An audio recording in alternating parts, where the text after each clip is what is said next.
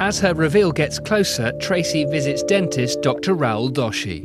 Rahul is a leading cosmetic dentist and employs the very latest technology to achieve incredible results. You have no idea how we're going to transform your smile today. Let me explain. Your front two teeth really do stick out because of the gold.